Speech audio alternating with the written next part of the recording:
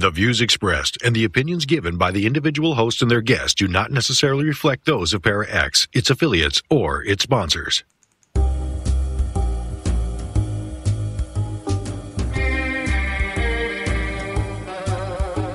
Step outside of your comfort zone.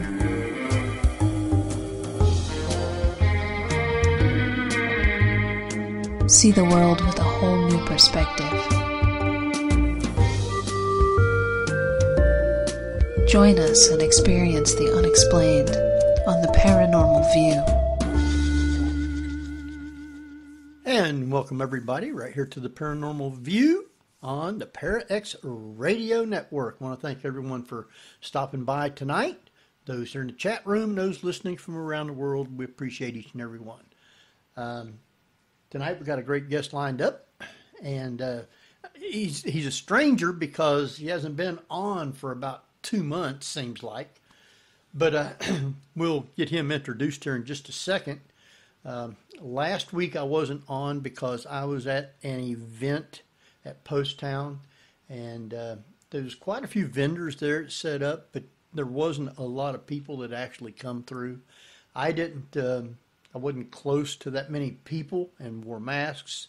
Um, Mark uh, Spicer and I had a had a table, and the the table that was next to mine, Tiffany uh, had her booth there. So at least we was able to talk anyway. So, but it was nice just to be able to get out for a change. I talked with uh, Keith Age and um, a few others, and so it was good to actually just meet some people. So, um, with that though, we got with us tonight Barbara Duncan,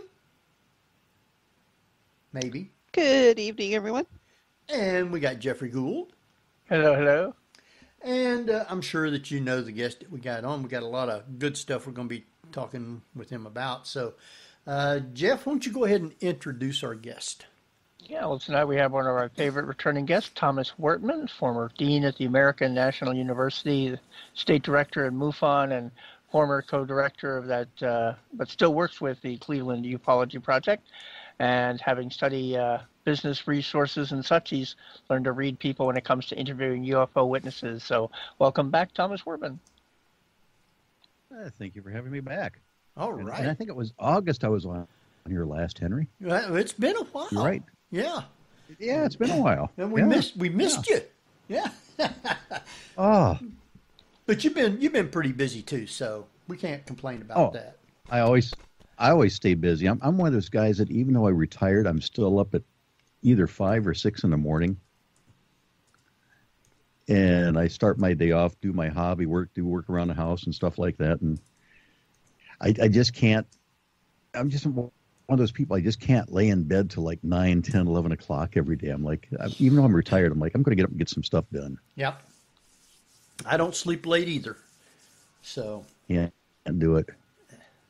I'd rather get up early and go to bed early. And of course, by nine o'clock, I'm usually passed out. So if you don't hear me for a while, you're going to have to holler and wake me up. Yeah. Wait, I'm not that bad yet. I- I've got a niece that actually goes to bed at like six o'clock, and she doesn't have to get up early. Like, the Ben Franklin kidding routine, me. early to bed, Yeah. early to rise. right, right. Oh, so I'm, I'm sure everybody uh, missed us uh, being on here last week, but uh, Barbara had a had a good replay scheduled, so I'm sure everybody liked it. So, so uh, with with all that, um, let's uh, find out, Barbara. Uh, anything been going on on our side here? Nah, it's pretty darn quiet. We have a few new shows.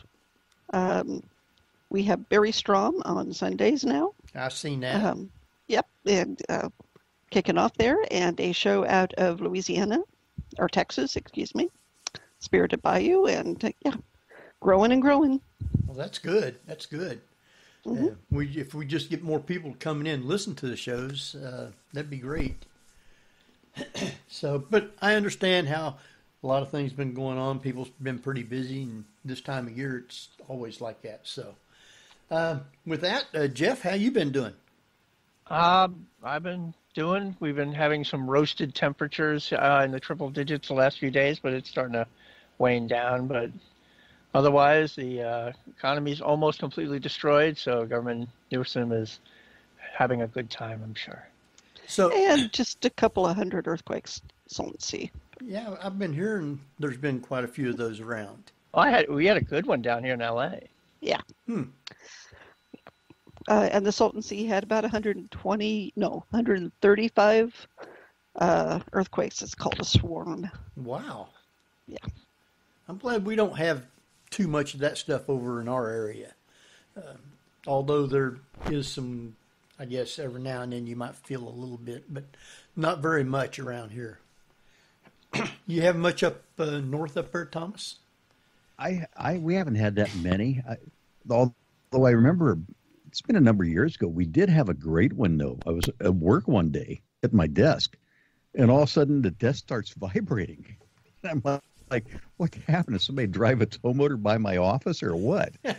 and and the boss came running and he goes, "What was that? What was that? What was that?" And we checked the news real quick, and there was an earthquake. But Huh. we, we rarely get them up in this region unless somebody's over kind of like in the eastern part of the state where they maybe do some of the fracking and some of the stuff like that. Something like that, yeah. They may have something more along those lines. Yeah, Yeah, well, you, you got the New not Madrid so much Fault here. there. You got the what, Barbara? that's right. It's called the New Madrid Fault. really? Mhm. Is that on? hmm Is that more over It in lets go. Pennsylvania? Uh, no. Um, I, I think it's more around Kentucky, the, the dam area, that sort of place. Oh, okay. Western Kentucky. Wow. Yeah. Well, we don't get get too much anyway. So, No. Uh, anyway, uh, we've been uh, talking some stuff about. Uh, I- noticed that there was something in the the paper or on the news, I guess, about uh, the government was going to be releasing some information. And have you heard anything on that yet? Well, they started that program where um, they're collecting information. And initially, when you hear this thing about the government starting a special program to, you know, gather UFO reports, you kind of get excited and you're thinking, "Wow, this is this is Project Blue Book starting all back up again with maybe more people involved, you know, deeper investigations." And they're really looking at things seriously and things like let's say, for example, the um, with Project Blue Book, one of the issues they had at times is, whoever was in charge of the program basically dictated almost direction the, the investigations went, uh, as far as a skeptical point of view or a you know real research point of view. So you know you're hoping something like that's going to get back up again, but I don't think that's the case. Because they they put this money up for appropriations for like the next year and the plan was that when this program was started, that every so many days a report would be sent back into the government as far as what all data was collected. And what they're going to be looking at is reports coming in from military personnel. And they were kind of like a little bit vague, I think, but you're hoping that they're going to look at things from like air traffic control reports coming in from them, things reported at airports, and, I, you know there was that hope that they're going to look at things in general that came in from like police, anybody who turned a UFO report in that they were going to be re- reviewing these things. But the way it looks now, I don't think that's going to be the case. I think what they're really going to be focusing on, Henry, is reports made in military operation areas. Because what they're looking for is really unidentified aerial phenomena. So it's objects that they can't explain. And they're going to be focusing on these military operation areas like off the coast of California, off the coast of the East Coast of the United States, and other areas around the country. So when there's these incursions into these areas, they look into it and they're not saying they're lo- looking for alien aircraft from outer space at all. They're not saying they're looking for anything interdimensional. What they're saying is we're looking at these reports for an identified phenomena. And I, I think the key point they're looking at is something that may relate to a foreign power. Maybe it could be private individuals who are taking aircraft into military operation areas and are going to be gathering reports on these. It, appears to be it's a very serious plan. Go ahead, Barbara. So more, in, uh, this is more intelligence gathering than it is actual UFO work. I th- think that's what it's really going to be at the end of the day. I mean, the hope was when you hear this thing being announced that, hey, they're looking for UFOs. They're looking for at these objects because, as they came out and said with the reports that when the Nimitz event happened back in 2004, 2005, when the Teddy Roosevelt event happened back like 2014, 2015, there's videos of these craft, for lack of a better word, flying through military operation areas. Now, these are areas where it's known that they're conducting exercises.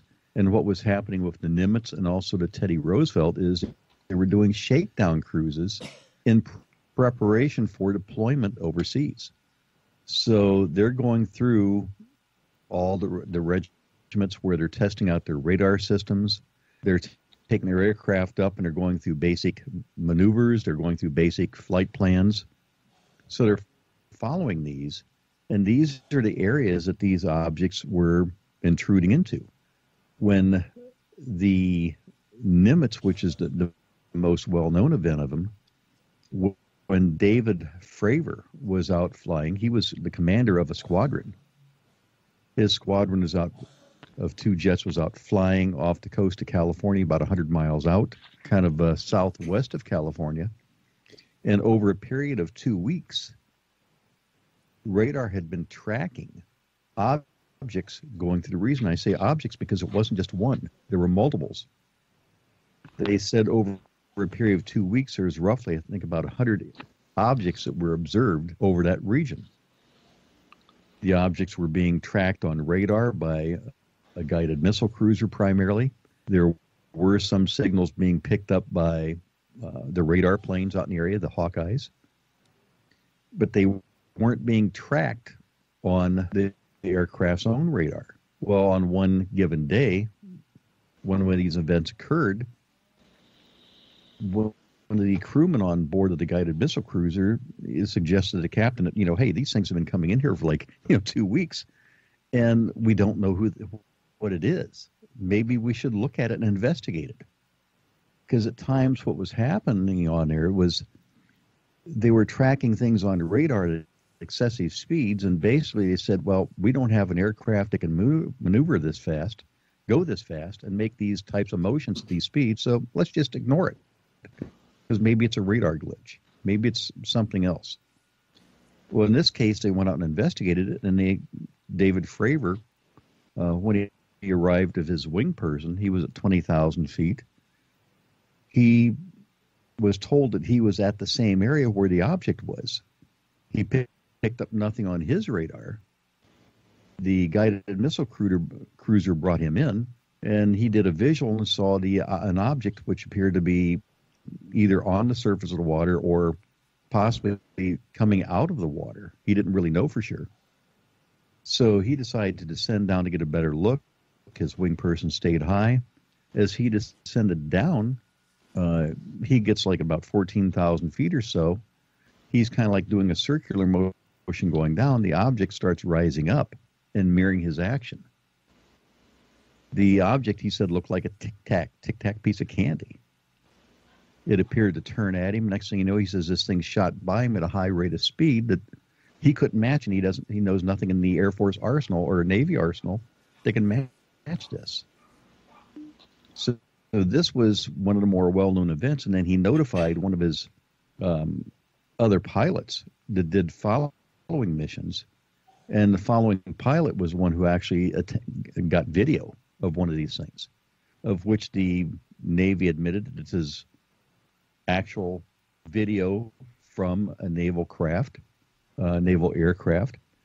They don't know what is what they're capturing in the video. They have no clue they were basically saying it was nothing that they had. So this prompted this and other encounters were similar prompted the um, military to start making, you know, these moves towards establishing a program to start looking into what's incur, uh, you know, basically what's intruding in our airspace.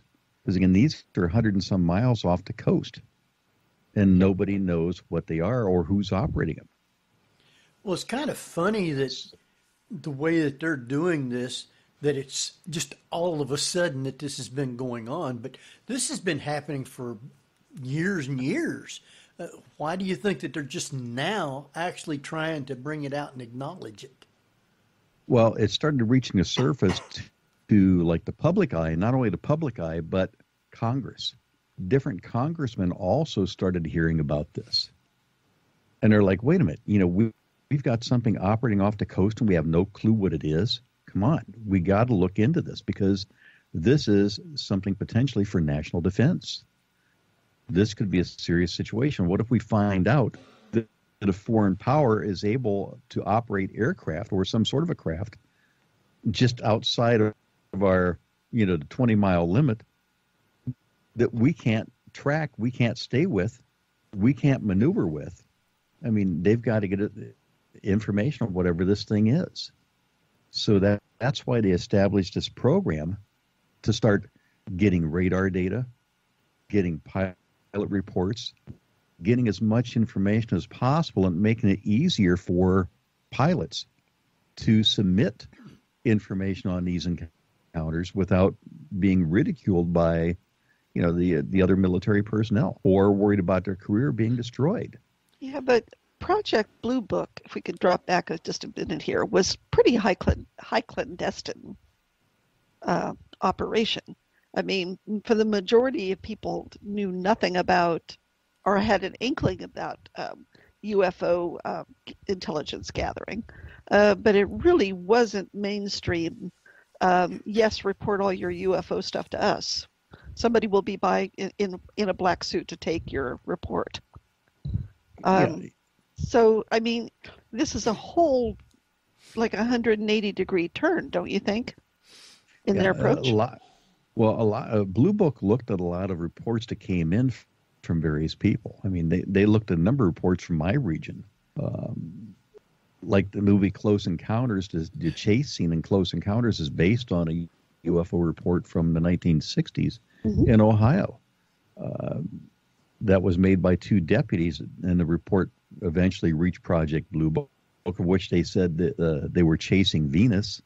And then another point, they said, oh, maybe it's a satellite they were chasing. But it wasn't looked at very seriously. Part of the things that they did to base their opinion at times was basically a judgment call. Well, it must have been this they looked at. Now, as the, the television series presented Allen Hynek as being um, somebody who was working with Project Blue Book.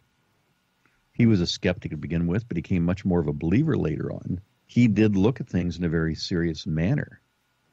But I don't think they had all, all the tools available. In other words, you couldn't go in, you couldn't pull like flight data real quick, you couldn't pull satellite data real quick. It would be a much more lengthy process. And sometimes I think they just basically made a judgment call saying that, ah, we think it's this. And again, that went back to you know who was in charge of the program. One individuals who was in charge of the program was Quintanilla, and he was a, more of a much more of a skeptic.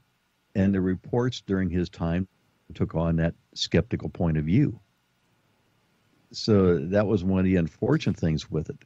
Now it looks like when these reports come in, again, they're they're not really being clear on the whole process that this program is going to be using. But if they see something off, off the coast of, let's say, California, they can get the military camera information, they can pull all the radar data, they can pull the information from the aircraft.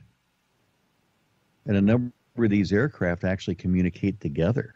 So they're going to be grabbing all the data they can. They also have other resources available. Well, they can go through different branches to see if they can get information. But I was hoping it was going to be much more in depth. That okay, let's say you got a n- number of UFO sightings. Let's say like the Phoenix Lights that they had. You get a number of things like that. That maybe they would be looking at that, but I'm not sure if that's going to be in their realm. I think it may be much more like something in military incursions is what they're going to be looking at. If somebody sees a ton of lights over Phoenix, they may not even look at that at all. Well, I was thinking along the lines that, you know, there's these massive, there's science groups that are using the public to crunch a lot of data, whether it's SETI or CERN or any of those groups. Uh, and this sort of sounds like a, a mass um, data gathering uh, by the public that the military can use because uh, I can just see um, astronomers looking out there going, hey, I don't know what this is. It doesn't act like a meteor, it doesn't act like anything I've seen. Um, and that they're going to be able to put this into a database for the basically the military to say, okay, let's go in and investigate it based on certain criteria. Yeah, yeah, based on certain criteria and I think that's what they're going to look at. If, let's say, that sighting that, uh, let's say, an astronomer or somebody had of what may have potentially been a meteor, if that happens in an area where there's probably some a military incident where there's an encounter, they'll probably pull that correlating potential correlating information into it. But if it's standing on its own, they may not look at it whatsoever. So you they, don't you don't think that they're actually going to be looking very much at sightings that's overland uh, around uh, you know you, the well any country because uh, they're mainly looking for stuff that's in the 20 mile offshore range. Well, they may be looking at something like over the United States. There's a lot of military operation areas over the United States. Now we've got some here in Ohio and southern Ohio, but you pretty much have like local National Guard, uh, Air National Guard units using those, and it's not like it's on a regular basis as far as like every day. So probably where you're going to see the highest activity at, or something, I think more so, Henry, that's in an area where it can potentially go back to national defense, like along the coast. I'm just wondering if something along maybe like the Mexican Canadian borders, along those borders and through there specialized areas, um, like Area 51, if they happen to see incursions at out in that region, or there's a number of other ones out uh, west the same way. I, I, personally just think they're going to be focusing a lot on those military areas hmm. because that's where they're going to be able to gather the best data from aircraft, from sh- naval vessels. Uh, who knows? Maybe satellite data. Try to get grab that. But I think that's where they're going to get the best information from. And that's going to be the areas that really go back to that big thing of national security. That's what I think is really going to affect what they look at. Well, as we get closer to perhaps some sort of um, disclosure about UFOs, um, and it makes me kind of wonder if at some point the military, world governments are starting to think um,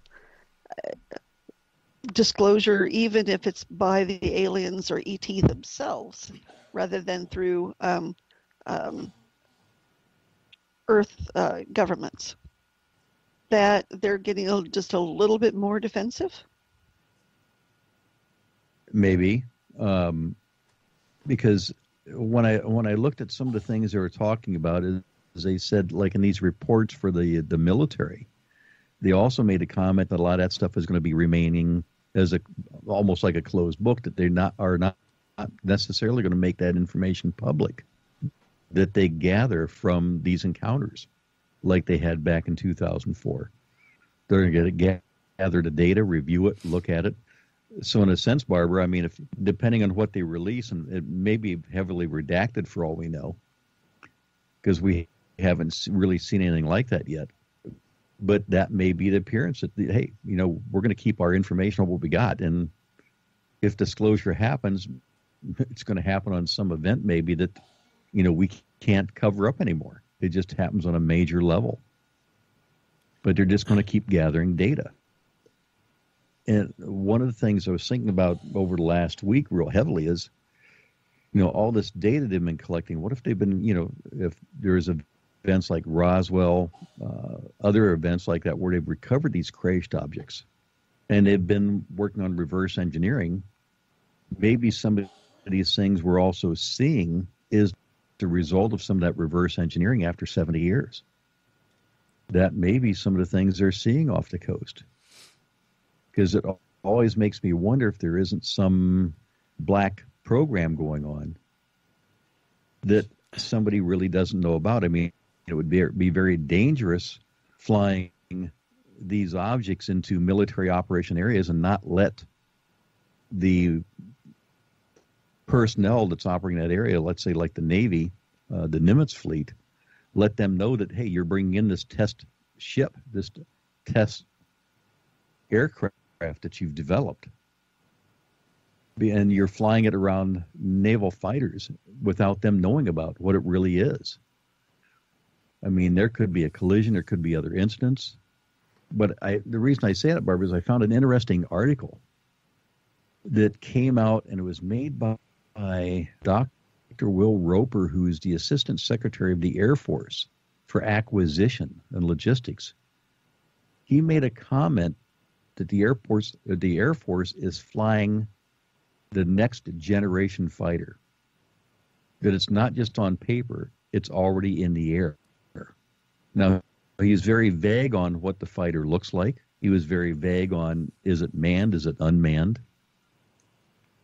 But he says it's not just a model, it is a full working version of the next generation aircraft. And would that be like a UFO type thing? This is what they're not saying. They're not implying anything on what it looks like. But they're basically saying that, hey, you know, we've got like the uh, uh, F 35s. This is beyond that. This is the next generation fighter that is already in the air. Hmm. So, and, and kind of like a real. Go ahead. Have you heard whether they have actually said that they have been able to pick up some kind of transmission uh, between the objects? Uh, I know that they were chasing more than just one at a time, right? Right. They're chasing more than one, but they didn't pick up any transmissions. But these objects move basically in, in somewhat like a uh, unison. I don't want to say a formation, but they moved in kind of like a unison. There was more than one. So, but there's something interesting I found in kind of like a related thing. What's going on at Area 51 right now? You you always wonder about places like Area 51, Henry, that when planes like the F-117, uh, you know, they're they're out, going out of service. Right. Uh, there's still some flying yet, but they're mostly out of service I believe. You wonder what they're working on next, and then like the areas where like they develop like the um, SR seventy one Blackbird, the hangars and stuff they use for red. What's going on in those hangars now? Right. Well, there's individuals looking at the construction that's going on at Area 51, and there's different ha- hangars being built. But they said there's an interesting hangar now that's it's really more. It's not a true hangar. It's more like just a um, almost like a tent-like structure that's put up. That's all open-sided. Hmm. That you can't see what's underneath of it, but it's shielding stuff from the air, but it's all open. Huh. And the speculation is they're testing swarms of drones. Hmm. So they're taking not one or two, but they're looking at flying many more than that out in Area 51. And they said Area 51 to be perfect because it's it's not a huge area. You still have a lot of land around there, but for, for smaller drones flying around, it may be perfect for testing. And they're looking at flying these unmanned drones in swarms. Huh. So uh, when I hear like the Nimitz story, I'm thinking, wow, they're flying these these UFOs that's being spotted or more than one, multiples. It almost kind of reminds me of the swarm type thing. So, how could they fly in unison if there's if they're not picking up any kind of communication between them? Um, are they pre-programmed, maybe? Pre-programmed, or who knows? Uh, maybe they've got a form of communication we're just not detecting. Hmm. Uh, the ones that they're working on at Area 51, they they speculate that the reason they built this huge structure that they could put like a bunch of these little drones underneath is they could do the testing on the electronics and the other devices to see how well they work in unison, to see how well they communicate with each other, and it's all being shielded under base like a canopy. Well, Japan already has um, robots that can be controlled virtually uh, using sensor uh, sense gloves and um, VR goggles. And you can plug into a computer and run these robots virtually from across the world. So it wouldn't be a big leap of faith to think that there is an operations center somewhere that can control these uh, drones um, simply by sight or a joystick for that matter. You're right. You're right, Barbara. And that was one of the things that I looked at, like in the, I guess you could say, connected to reverse engineering. The you know, the number of times when I've been out and we've been talking groups about these or about UFOs,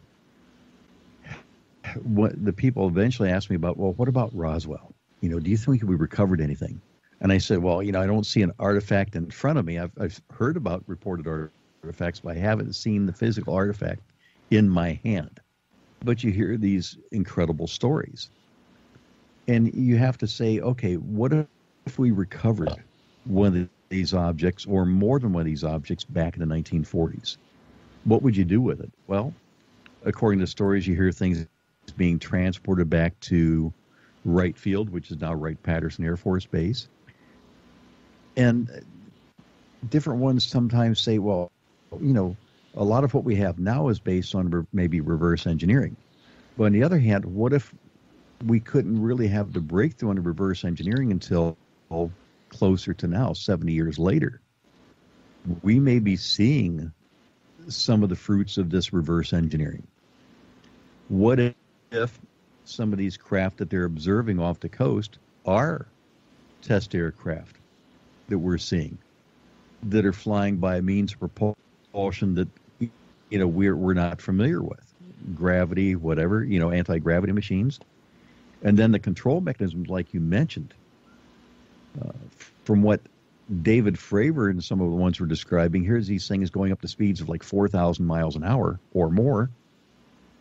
If we were on board one of those craft, you'd be splattered like a bug in the windshield, you know, if this thing took off just by the pressure. The other thing is, is, is you're flying with these craft at super high speeds. If you think about turning or making maneuvers, by the time the the human reacts, to control this craft to make a turn at a certain point, they may be way beyond the point they intended on turning at.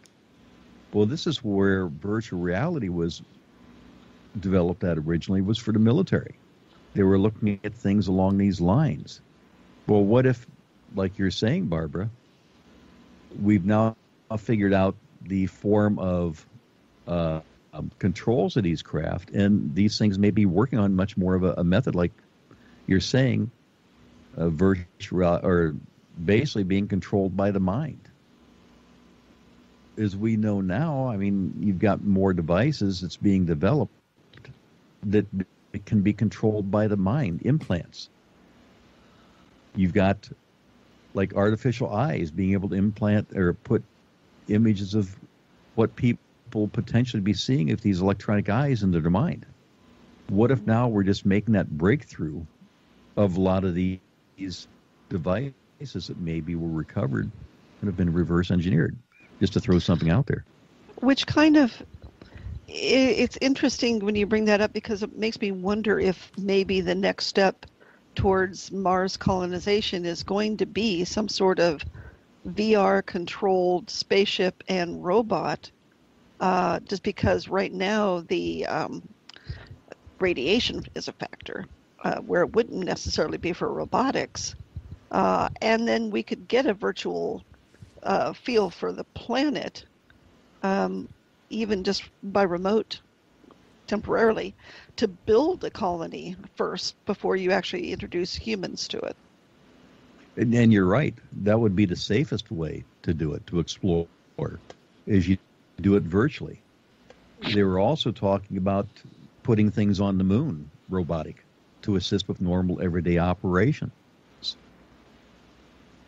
That way, it minimizes the human. Right. Because they can't stay up there for long periods of time because of the radiation. Exactly the same thing. So it would make sense to me. But Which I, I also, just, what you were bringing up about speed, and it kind of makes me wonder with any sort of, even with perhaps interdimensional travel, um, if it would scramble too much. And a lot of what we're seeing aren't necessarily biological aliens, but some sort of robotic probe. That's correct. And that and that's another thing, is that we may be seeing some sort of a probe that's robotic, that's being controlled, like you say, virtually. Well, now, I know. And go ahead, finish. oh, go ahead, Henry. Um, I know that a lot of times when they've reported UFOs and things like that, that they were able to, like, like when someone was abducted, they would be saying that these things didn't actually talk, but they used their mind some way to communicate with you. Would they still be able to do that and control different ships and stuff? I don't know. I haven't I haven't done that one yet, Henry. but uh, I've been involved in that one. I've been I've been involved in my own personal one of the mind, but you know, who knows how far you know they can control things. And I just think really like the virtual way, you know, controlling things remotely, or uh, maybe they have a way of basically when. Uh, best comparison I can make is there was a, a Steven Spielberg miniseries on. It was called Taken. Now this isn't the Taken movie with um, Right. Les, uh, Liam, Liam Neeson, Neeson. but this is the one that um, it, it took. They took a lot of the historical UFO moments over the years and condensed them into a mini series, and some of the stuff was based around Roswell. In one of the parts of the um, miniseries, they'd recovered craft, but they were trying to basically fly the craft. The craft was flown by not human controls like we think of, like steering wheels and so forth, rudders, etc. But they basically put their hand, hands into a unit, and it ah. almost like linked the mind directly into the craft. Now that's what I'm looking at is what if there's a way to basically link that person into the craft by let's say touch or whatever, the mind. That way it minimizes the transfer time of thinking, you know, and, and the hand motions and everything else. It goes directly into the machine for lack of a better word. Now the problem that they ran into in the miniseries that per the story was the human mind wasn't strong enough. Right. And the people were actually dying because it was too, too much of a strain on their mind and they couldn't handle it. So they actually were looking Mhm. for a hybrid who'd had a much stronger mind. That was the movie with brain. Parker, Parker Posey and Dirk Benedict. Okay, I remember it because they were, and it, it kind of interesting that you bring that up because they kind of linked it to Stargate in a way because they were recruiting psychics uh, Mhm. to try to to to figure out how the machine would work. Yeah. as I recall. Yeah. Yeah, and in the one of Spielberg, I remember they had like twin women uh, that were like psychics, something along those lines, that they brought in. Somebody they were looking for people that had ESP, things along, along those lines, and that's why they went after the hybrid basically tor- towards the end, is because they needed something strong enough. So you know, it makes me wonder that maybe you know since these things are moving very quickly if something is on board there's must be a direct communication with the craft almost there's no hand motions nothing like that controlling the craft it's all through the mind But it would also make sense, Barbara, as another, uh, I guess you could say another step to that. What if they're not even there? Maybe it's being done completely virtual. That way, it could be potentially even done across the dimension. A computer can think that fast, can't it? Computers should think that fast. Yeah. And that's based on our technologies we have now. So I wonder if it's computer controlled. Possibly. Possibly. There's just so many things that we just don't know. That's the thing. And uh, that's why when I look at like the military gathering data, maybe they're still in the dark as much as we are. And they're trying to gather every little crumb that they can to maybe put more of the pieces together if it's something that's not theirs. And I would have to assume that other foreign countries are having to do the same thing because they've got the same stuff going on there also. Oh yeah, uh, you'd never hear it coming out of China, but they have to have the same things going on in China. You hear stories at times coming out of Russia, but some of the stuff I've seen is is more like stuff being made up for YouTube, and it could be a combination of maybe just people posting wild stuff, just it's made up, or it could be a way of even putting out disinformation on what they're working on or what they know.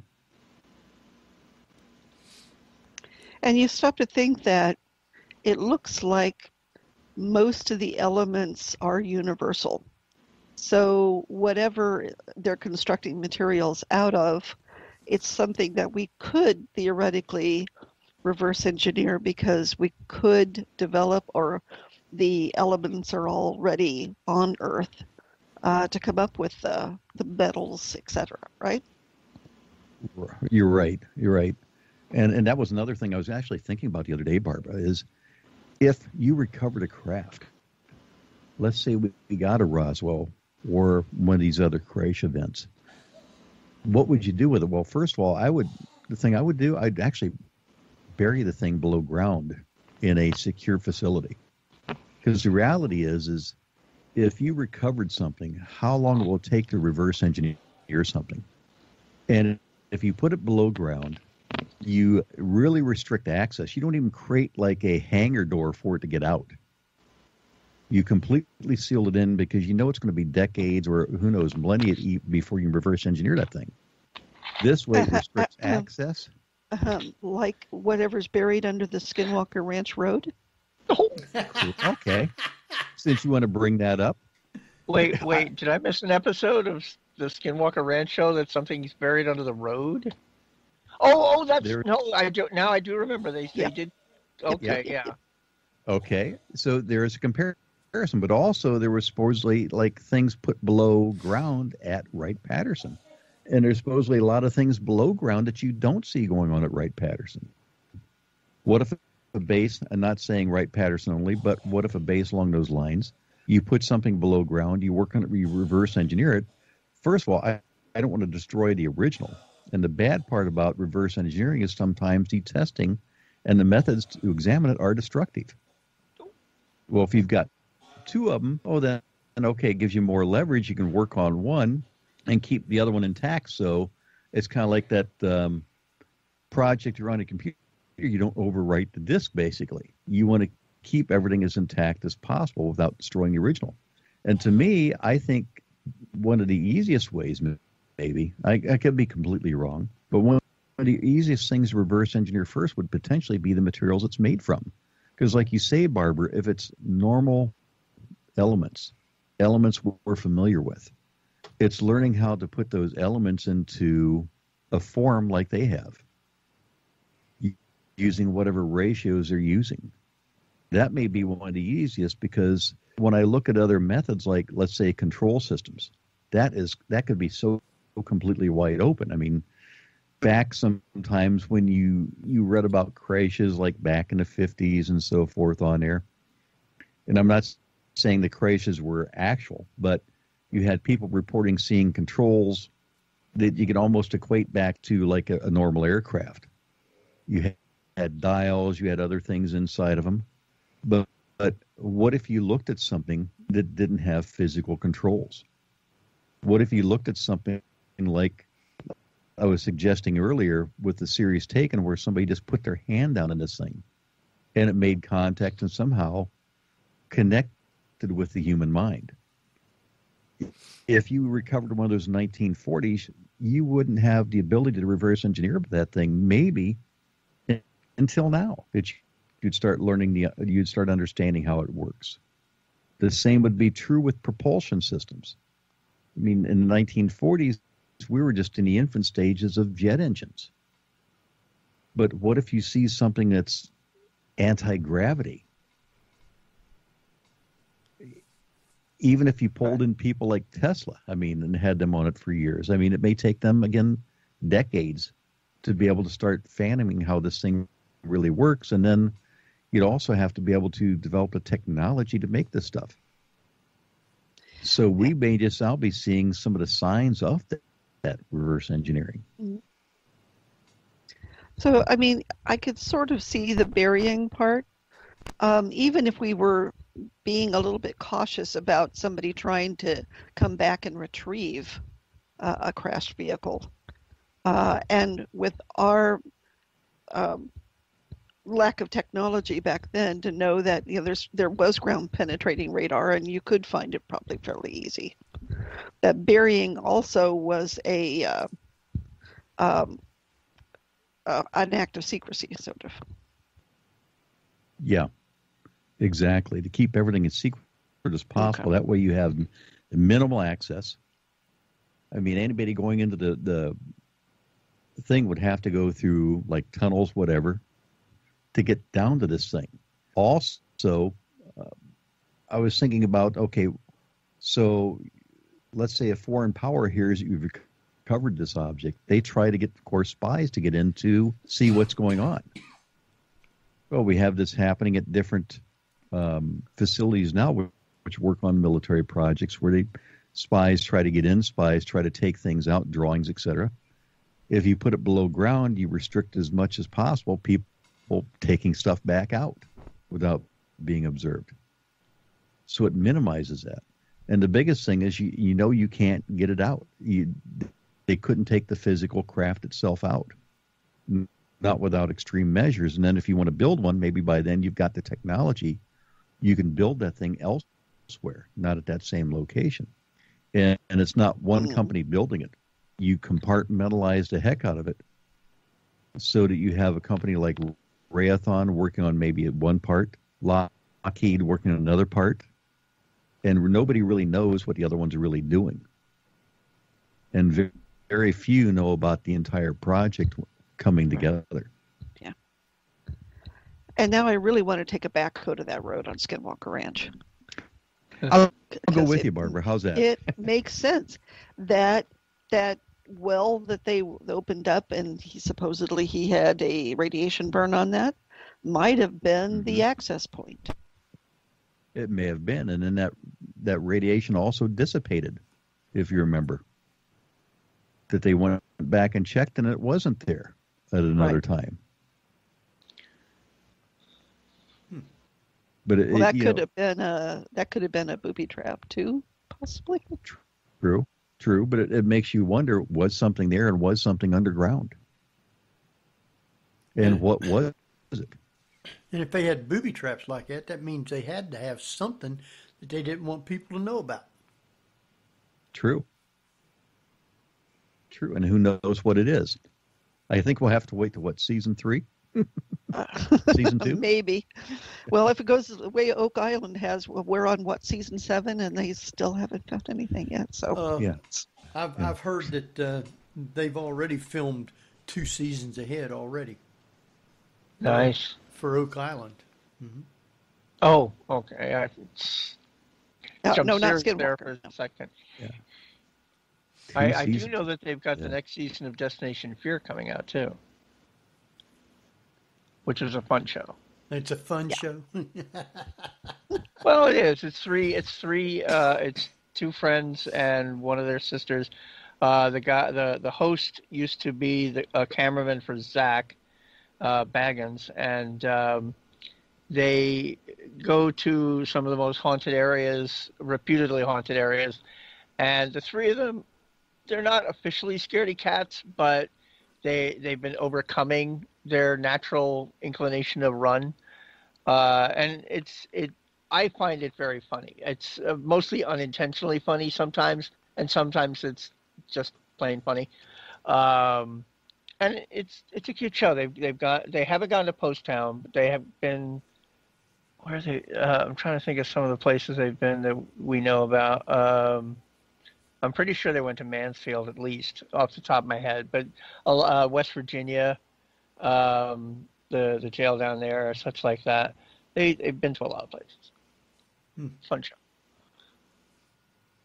On the on the Travel Channel, all paranormal, almost all the time. So, and it's interesting because these UFO shows, and we've talked about this before, is I know they're trying to be scientific and I know they're trying to be data driven um, in their findings, but it would seem to me that if they had a psychic on there who can start maybe sensing things like we were talking about what was under the road and what was in that house and um, it kind of makes you wonder if if they had somebody there that could say um, drill here or drill there it would make more sense Yeah, you're right, Barbara. I mean, if you had somebody there that says, you know, I have this feeling in, in this area, more so than here, at least try it. You know, Yeah. But then you'd have, least try it. you'd have to have a, a, a really good medium or psychic Yeah. who who you could actually depend on or trust. Uh, I or mean, somebody who's had experience with UFO and alien um, psychics, eh, for a better word, or I had a psychic experience or a link. well, that, that, Then it makes it a little bit more. Uh, oh yeah, I get that weird feeling that I used to have over here. that would be Thomas. We we take I- him. I'm available. I'm not doing anything right now, and I, I will maintain social distancing. You know, Uh, I guess maybe then we're gonna have to start our own show then, right? Uh, yeah, yeah. I mean, I'm just putting the word out there. If anybody is listening, hey, I'm available. You know, Yeah, there there you go. Yeah. I, I would I would be willing to take that uh, trip out to Skinwalker Ranch, and, and really be curious because I had somebody else the other day um, tell me that you know they they see an aura around me, and it's kind of a yellowish color. Hmm. They says looks like a bubble. That ain't from where you got scared, is it? No, Kind of yellow. No. Oh, okay. no, they they just said it's kind of a yellow color, and it, it's it's they Well- said now okay now uh, we're we're gonna get off. Yeah, sorry, Barbara. You, you may I, I have got onto this roll now. Yeah. You may have put that up there yourself as a means of blocking them because Yep. you were talking about blocking. Okay, Barbara. That you you started it now. Okay, Here we go. Uh you started it. Uh-oh. Warm up the engines. oh. Uh oh. Uh, the glove's this, coming up. This has come out only once before. Nobody ever heard this part before about my story. But back in, uh, matter of fact, just to let you know that I was told this that it is a protective bubble that has been put up around me. That was what the psychic told me. They They- said there is a protective bubble around you. Is it that you put up or from when you had been abducted and they put it up? Okay, now let me tell you the my side of the story of this. Okay. After I heard that, well, back in the 1960s, and it had to be like 1967 somewhere in there, when I was having my experiences, and, and uh, just for those that you know may have not heard the stories before, back in the 1960s, I started having uh, um, bouts of sleep paralysis and they were almost on a nightly basis. It started migrating into the feeling that something was coming towards me every night, uh, was coming for me. It was coming from a always from from a certain direction, like it was just coming from that same point all the time. I would start. I thought as a kid, I'm like looking for the monsters under the bed, basically, but I kept look, looking for something in the room. I felt something was there. And there were times also, Henry, that um, I observed the shadow type figures in the corner of the room. Well, I started getting very paranoid. Something was coming every night. And I started mentally creating a shield around my body.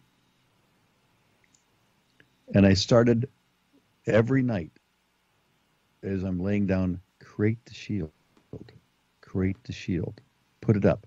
They can't get to you, it, or whatever can't get to you. I didn't shouldn't say they can't, but whatever it is can't get to me. Well, so that your listeners also know, I've gone through regressions back to those same time frames where I was having encounters with the Greys. That the Greys were the ones that were coming, and I was trying to keep that from happening. And when the psychic looked at me a couple weeks ago and said, "You know, you've got this yellow protective bubble around you. It's almost like to keep something out." I told the psychic then my story, and she says, "Well, you've probably created it, and it's now there. Period. It's like you created it, and it can't come down, or or you you've got it to a point that it's not coming down to this day." But here's here's the part though too, Barbara. She told me she says they're still not done with you. I sense that. They're not done with you yet. hmm. Sound like they're going to send some different mm-hmm. ones that maybe can break down the shield. I don't know, but I I never told anybody about that creating that bubble around me. But I mm. created that out of fear. And it, at times you look back and you say, was this a childhood fear that you know you developed as a kid that something was coming, like the monsters in the closet? But when I went through the regression, yeah, it's what about seven years ago now, something like that. Regressions it indicated something potentially totally different. That there were encounters back then, and a number of encounters around that time frame, and that's also when I saw the one UFO at treetop height. Uh, it was only about 30 feet above me, hovering uh, as I was walking through the woods. It's um, I did it with a buddy of mine. We, we both had the encounter together, and I, he didn't see the UFO, and I never told him to look up. And unfortunately, I can't go back and you know see his side of the story now because I found out he passed away years ago. And the curiosity in my mind is why did he pass away? But you know, it,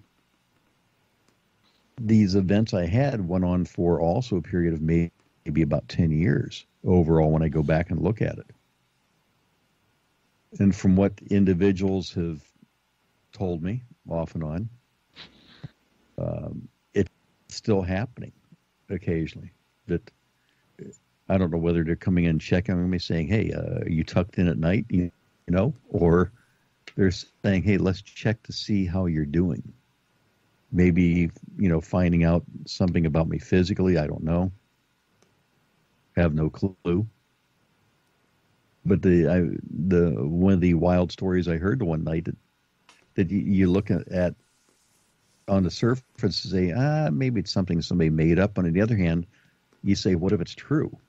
Uh, was when um, one of my friends who's in MUFON on on the east, towards the east coast, we were talking one night, and she says, you know, I've got a friend that she has had experiences over the years uh, with encounters and abduction. Really? And she goes, yeah, she was on board of a craft the one time, and she says she's talking about all these other people on the craft and talking to one person in particular, and she goes, the more I heard her story, she goes, it sounded like you. I said, what? She goes, yeah, this is about seven years ago now. She goes, it sounded about you, like you. And she goes, you want to know the freaky part? She goes, I took a bunch of pictures, laid them on a table, and she goes, well, what did the guy look like? And she pulled the picture she pulled out was yours. I'm thinking, if you're making this up, you're doing a great job of freaking the heck out of me right now, you know? you're doing a fantastic job. But, you know, you also look at the fact that could this be why that bubble's still there. Then in the back of my mind, somewhere back in the subconscious, I, I feel like it's still happening. Not on a regular basis, but maybe occasionally. there's something maybe just trying to prevent it, you know. You know? And maybe on that night, whatever it was, whenever that happened, it didn't work. well, and here's the other thing to this, and the clinical side me wants to say is that okay, you're an anomaly. And if I were an alien studying different um, psychological reactions or physiological reactions with a human, I'd want to keep those anomalies and study them. right? Right. True. So, I mean, maybe that's why she's saying they're not finished with you, is because if you are that anomaly, and uh, it's an interesting thing that they are going to come back and check because they're trying to figure out okay, how did they do that? What caused that to happen? That, that bubble there? Hmm, interesting. We're going to have to figure out how to get around this. And maybe that's what they're coming back and trying to do, right? Well, so. true. And then also remember, I, I mentioned to you before that um, during the regressions, I had the feeling that um, when I was being regressed, I it, and I still keep thinking about this is I was laying down a table, um, no medical equipment around me whatsoever, just this room that had no, you couldn't really make out any details. Uh, just have like a curved ceiling, dome ceiling. And here this being is looking me in the face, and the being had these huge black eyes. Uh, you describe it as the gray, and it really freaked me out because it it, it kind of reminded me, Barbara, of that you know the doctors when they put the mirror on their head. Uh, I remember mm-hmm. that as a kid. Uh, I, I had the feeling it was almost looking at me like that. You know, like okay, it's looking me in the eyes. Where's the mirror at on top of its head? You know, to go along with it. You know. So this this thing is looking at me, and uh, when it was you know, looking, it was like it was reading into my mind, looking into my mind, not physically examining me, but seeing what my mind is doing, what I'm thinking, my reactions. You know, maybe maybe that's what was really looking at emotions, what my emotions were like. And at one point, I felt like I could view this, like all of a sudden I connected into it, like here's a connection that we had mentally all of a sudden. And the thing it was it wasn't like now it was a one way street where I was looking at what my mind was. It was actually a two way street. So I was seeing what was going through its mind and expanding out into almost like a hive effect, connecting with others of its same type. And the, the best reaction I can make is it, it seemed to have no emotions, but it was like almost the closest I can compare is startled when that happened, when that connection happened that that was not supposed to happen. And, you know, kind of thinking back on the whole thing now, because I'd kind of forgotten about that bubble thing until she brought it up the other day. But maybe that was something that, who knows, uh, if that bubble is there, maybe that was something that was helped being created by that connection. That there's something that's been kind of opened up that wasn't there before. Hmm. Who knows? Just throwing that up for thought. Well, we can talk more about th- about this after the break, and uh, I think it's about time for us to take a quick break. Um, so just remember, your mics are all live. Uh, we'll be out probably about five, six minutes, maybe if that long, and uh, we are going to let, uh, I guess, Geoff, you take us out. Is that the way it is? Yeah, yeah, pretty much for, for a few years now. Uh, you're listening to the Paranormal View on para-x.com with your hosts Henry Foister, Ceiling Cat Barbara Duncan, and myself, Geoffrey Gould, with tonight's always excellent and wonderful guest Thomas Wertman. So stay tuned for more of the Paranormal View after the break.